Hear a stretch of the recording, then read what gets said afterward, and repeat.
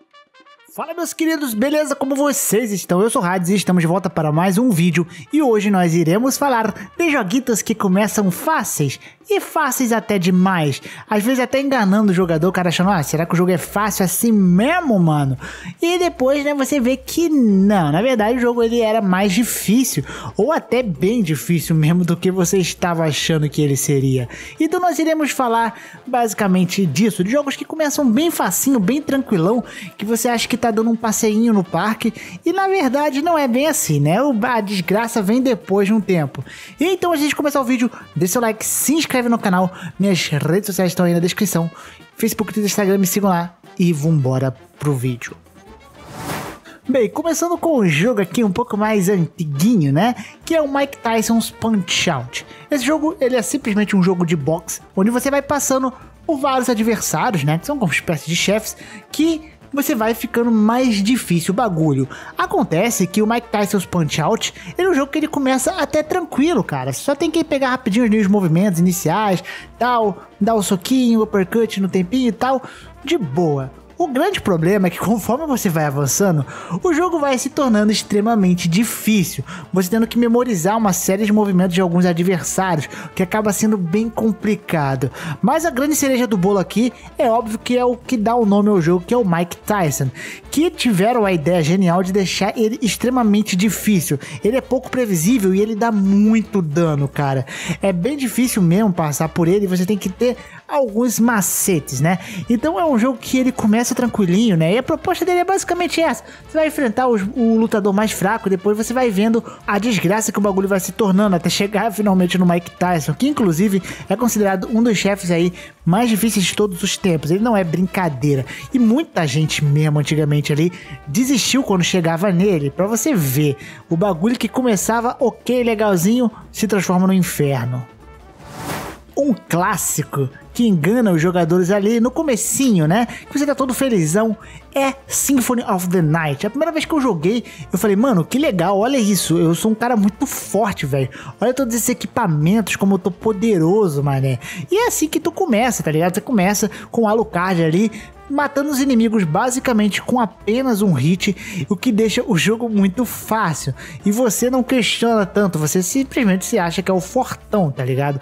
Mas depois de um tempo, né, conforme você avança logo ali no início, o jogo ele te deu apenas uma demonstração de como é ser muito bom, muito poderoso. Porque ao encontrar a desgraça ali da morte, né, ela simplesmente toma todos os seus itens, deixando você bem na vala mesmo. E é aí que o jogo começa de verdade, e é aí onde você provavelmente vai começar a morrer algumas vezes, porque você já não vai matar os inimigos com uma tão facilidade assim, e você vai se ferrar bastante assim, explorando pelo cenário. Não que Castlevania Symphony of the Night seja um jogo extremamente hardcore. Ele tem seus chefes, seus momentos difíceis, mas ele é um jogo que pareceria ser muito mais fácil se você começasse ali com os itens do Alucard. O que não acontece, velho. Você tem que começar basicamente zerado. Ele só te dá uma demonstraçãozinha de que, ó, ó que maneiro, né? Agora se ferra aí. Outro jogo que começa bem simplesinho é Cuphead, com exceção de um cara que não conseguiu passar do tutorial, se vocês já conhecem a história, sabe do que eu tô falando. Mas Cuphead é um jogo que começa bem simples, cara. Tipo, é tranquilinho. É um jogo que muita gente ali pega ali, né? Olha e fala: caramba, que legal, né? Um joguinho cartoon aqui. Vou dar pro meu filho de 5, 6 anos. Lendo engano, meu amigo.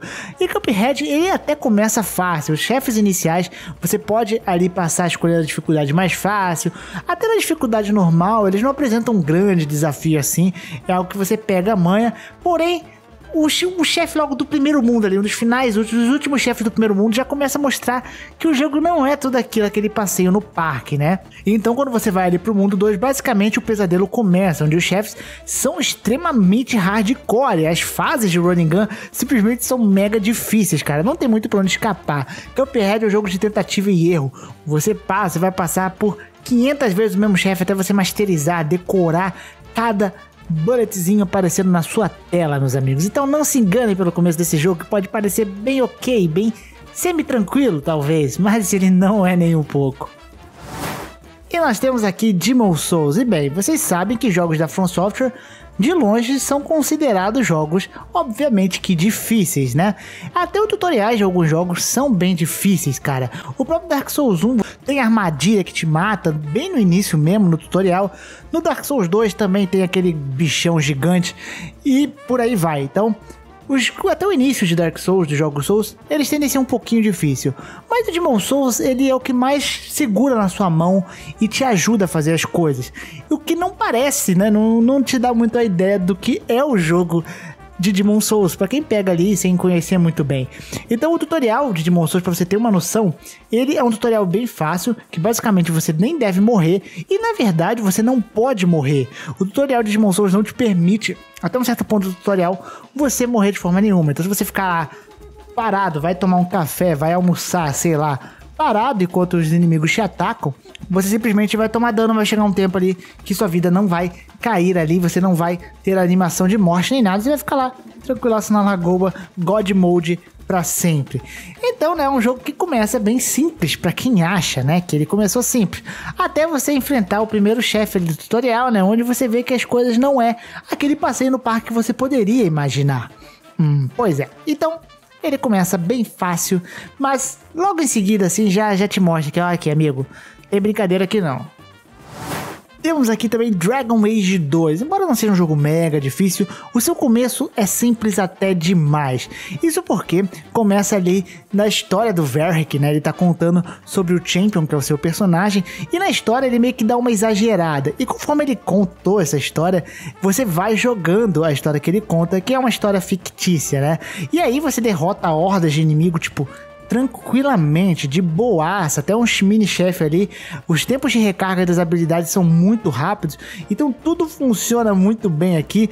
O que você acha que vai começar assim? Você vai começar com equipamentos, com esse tempo de cooldown, dando um dano bom assim nos inimigos, que depois talvez tenha um mais fácil ou outro, mas na verdade não. Tudo isso é uma história do Verric sobre o campeão e na verdade você começa como um bom RPG, né? Ferrado da vida. Você não começa com muitos equipamentos, você não começa com nada de bom, simplesmente você vai conseguindo conforme você joga. E o jogo não é nada daquilo da história que ele conta, cara. Não é fácil desse jeito, nem de longe. E aí, né, você tem que correr atrás do prejuízo para tentar ficar forte. Aí talvez no late game aconteça.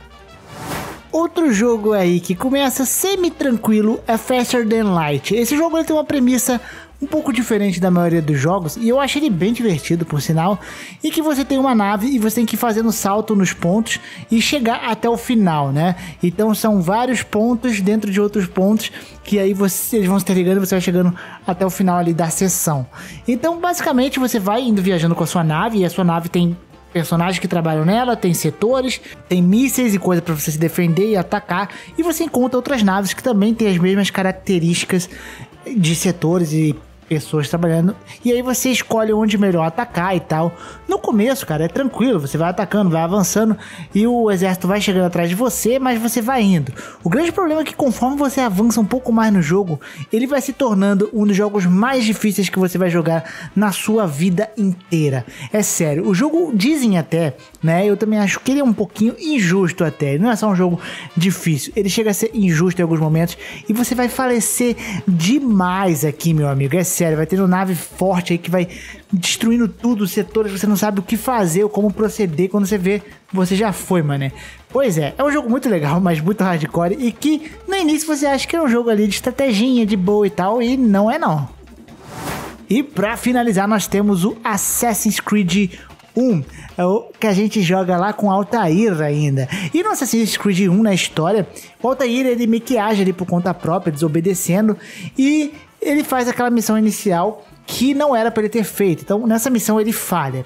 Porém, nessa missão inicial, ele está totalmente upado, tá com a vida total no máximo lá, com movimentos ali, coisas que o personagem não tem no início, mas ele tem tudo ali no começo. E o começo tipo, é tranquilão, porque você tem tudo, é como se você já estivesse no final do jogo lutando com personagens ali praticamente do começo.